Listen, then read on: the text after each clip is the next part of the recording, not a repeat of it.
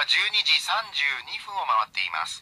日本放送の制作でお送りしています。アッコのいい加減に旋回です。メールをいただいております、はい。埼玉市ラジオネームズーチーさん。はい。女性の方です、はい。先ほどアッコさんから詐欺には気をつけてくださいよあという呼びかけがありましたが、はい。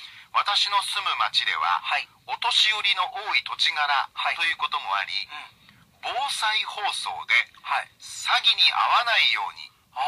電話は留守電にしてください。という放送が流れました。もうもう明暗だと思う。あうんそれいいと思います留守電にしとくの。ーとりあえず一回最初留守電で受けると、はいはいはい。それとね留守電だとね相手の心理も残すとよく泥棒なんか、はい。あの泥棒に聞いたわけじゃないですけどテレビでやってたのは、はい。泥棒もなんか音が鳴るとか明かりがつく家に入る時ねええ。ついたりにちょっとビビるらしいんですよやっぱそうなんですね。だからやっぱり留守番電話だと残るじゃないです証か拠になっちゃうからそそう。そうもそももう詐欺の目的の人入れないんですね。そうそう多分。はあそれだしあもうもしそれで息子さんだと思ったら息子さんとこかければいいわけだから、はい。娘さんでも、はい。もうねあの手この手で本当さっきのスマホじゃないけどもういろんなやり方で来るからそれはもういいことだと思います。バイキングでね、うん。渡辺美さんがハマってしまった詐欺5000万ですよ。で信用するもんそういうの見ると、はい。うん。最初はだって少し儲けさせるって言いますもんね。そうそうそう。あえて。だからいろんな詐欺があるから、はい。ぜひぜひことだと思います。防災放送でうん。詐欺に遭わないように電話は留守電にしてくださいということが流れまあこの後のクイズ和田尾根は留守電した意味ないよ。はい。それは気をつけてくださいね。いやひょっとしたら「ああわ和田です」ってかけてきても私だとねこれから「和田尾根や」っつった後に、はいはい。ねタイあのミング合わせて？そう11時後半12時後半にかけるのが私ですからね、そういうの昔あったじゃんテレビのなんか「あなたに当たりました」とかはいはいありましたありました、うんだからそれも気をつけない。和田オネア詐欺ですねこれ、うん。あれですよそれこそクイズロト6とか、うん。あのー翌日の新聞に出るじゃないですか。そうそうそう。だけど本当は数字は前日に決まってるわけですよ、それを夕刊を見てね。タイムラグを利用する詐欺もありましたそうから、いうのもやめましょう。気をつけましょうはい。福岡県宗像市にお住まいの宗像の純ちゃんからいただきました、はい。60歳。福岡。はい。はい。アッコさん初めてメールしますと。ああありがとうございます。私ははい。アッコさんのはい。50年以上のファンです。本当ですか？ここにじゃおおおいくつですか？60歳なんです。アッコさん50年以上って言うんですよ。50年目ですけどね。そこにちょっと僕は今疑問を持って。60歳。10歳かなはい。なぜデビュー50年のアッコさんに50年以上と言い切れるのか。50年目に入ったんですか？あそうですね。はい。はい。で今日初めていい加減に旋回を聞いていますと。ああそうですか。ありがとうございます。今後ともよろしくお願いします。いいえこちらこそでございます。福岡はねこの間あのまあ東京で録画したんですけどあの本当に水野くんのやってる番組で、はい。あの生き物係の水野良樹さん、はい。で出ましたよ、で今度福岡放送で何かあったらやりたいですねっつってたから福岡はもうね行く可能性ありますね、もう屋台が大好きだから、はい。すごく楽しみ大好きな街。いいですね。はい。なんか福岡の屋台ってやっぱ大阪にちょっと似てるとこ似ろがあるんてですか？るけど大阪あんなに屋台充実してないからね。福岡はもう中洲の方はもうほら揚げ物はある煮物はある焼き物はあるさん。それこそおでんはある焼きそばあるわもう何でもあんだもんラーメンはあるし。いいですね、うん。なんか屋台っていうのはその土地の香りが、ね。はい、そうそう。しますもんね。はい。はい。宗像の純ちゃんさんありがとうはいございました、ありがとうございます。えー、あとですね、うん。これは葛飾区の大和さん。はい。あの鐘を鳴らすのはあなたのはい。徳永英明さんのカバーをはい。今聞きました。ありがとうございます。なんか優しくてよかったですね。はい、うん。アッコさんのあの鐘が壮大はい。と感じるのに対して、はい。徳永さんはうん。繊細というイメージでしたと、なるほどいずれにしても本当に素晴らしい曲ですねと。ね。この曲に巡り会えて、アッコさん本当良かったですね、本当そうです。もうなんかなんていうかな。私が年を取っても歌は年取らない。ああのうまく言えないけど本当にアイドルの人の歌うね。あのまあちょっと私は一人しかまあまあ松田聖子だとするか。あ例えば。ね。例えば例えばですよでも例えば松田聖子の歌で「赤いスイートピー」名曲ですよ。はい。うんうん。あの春色の汽車に乗ってうん。海へ連れてって、うん。だからうそういうのをもうセコも60近いでしょ？聖子さん50そうですね。55とか6ですかね。うん。そういうのがそういう人が「赤いスイートピー」とかね。似合いますね。そう 歌おうかな。意外と意外とすんなり歌うの受け入れてるじゃないですか。いやでもねあの変な意味じゃなくてですよ、はい。じゃあ松本伊代がね代表曲って「いいよはまだ 16?16 だっけ？16です。ね？16だからですね。ちょっとってそれをね現実の「いいよ」はもう50過ぎだからじゃあおかしいでしょ。そうです。ね歌はそれはだからその年の適齢期っていうのがもしあるとするなら。歌にね、うん。さっきその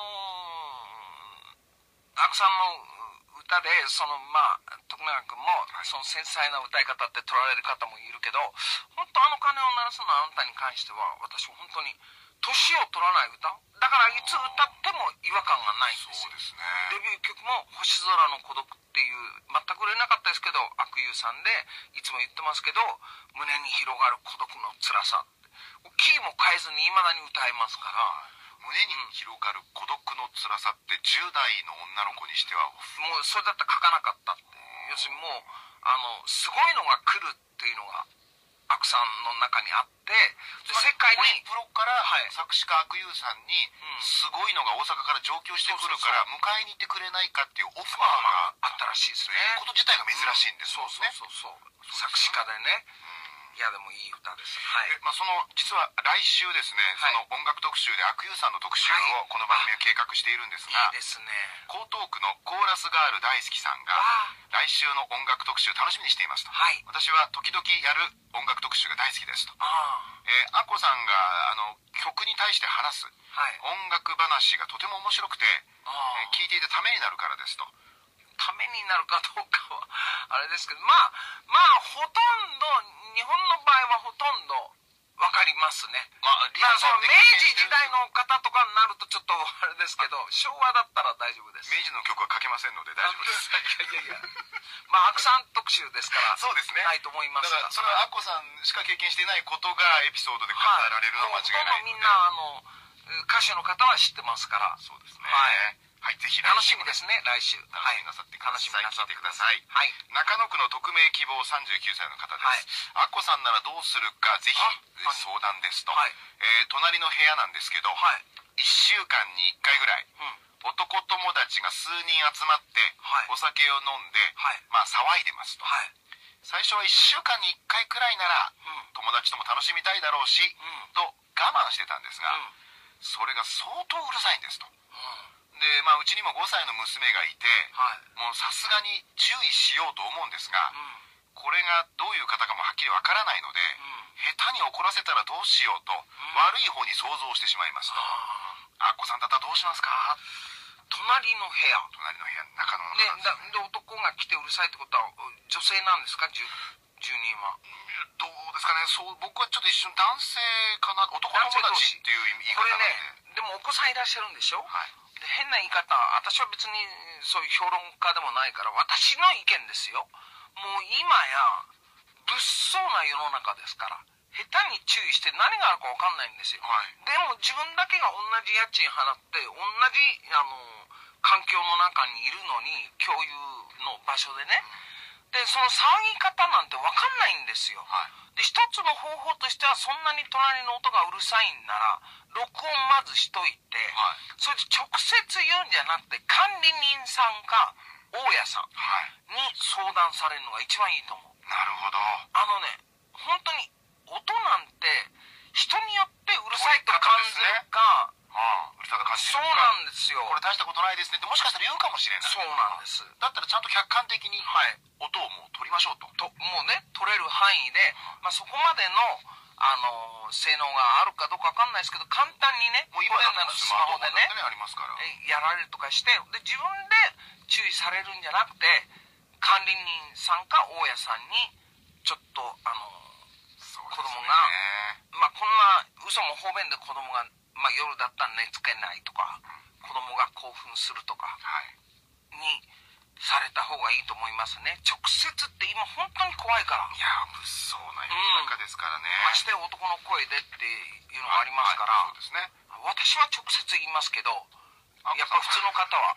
そうでしょうね。はい。あこさんが隣から直接言ってきたら隣もびっくりするでしょうけどね。いやいやでもこれはねご近所のお付き合いもあるさあそうもしね昔だったらまだ顔見知りだったりとかね。そうそうそうギクシャクしちゃってもね今度大変ですから、はい。ぜひ管理人か大家さんにご相談された方がいいと思います、中野区の匿名希望さんということです。はい。はい、そしてラジオネームラジオでチャチャチャさんですね。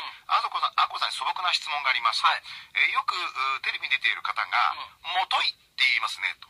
え？そう？えーもとい、あの、言いかけてちょっと言い直すときに、訂正するときにもといってい。う使うんですけど、はい。もといってどういう意味なんですかっていう。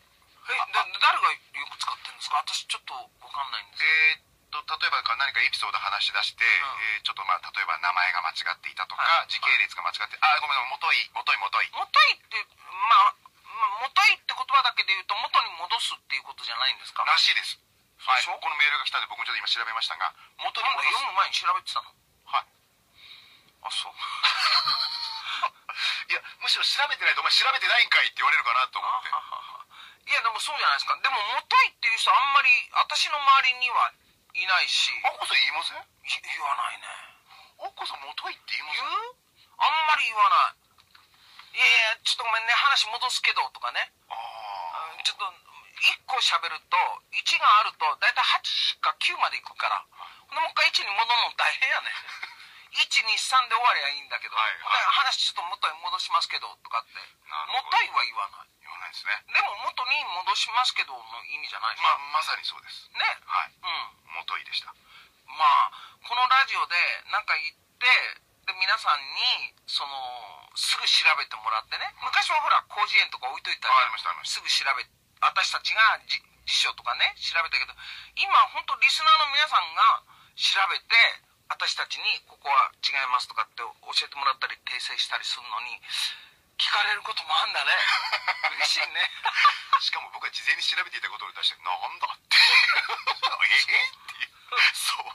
それだったら言ってあげればよかっ いやいや、あ、まあまあそうですね。たはい何やそれえー、たくさんの、後味悪いななんか本当に今、もといっていう感じですね、今。ああはいそうね申し訳ございませんでした。たくさんのファックスメール、ありがとうございました。ありがとうございましたそれでは一曲お送りしましょう。はい。さんのデビュー記念日10月25日にリリースされたアルバムにも収録されております。作詞作曲石井達也さんでいいす。歌ですよこれもはい。はいアッコさんで夢。「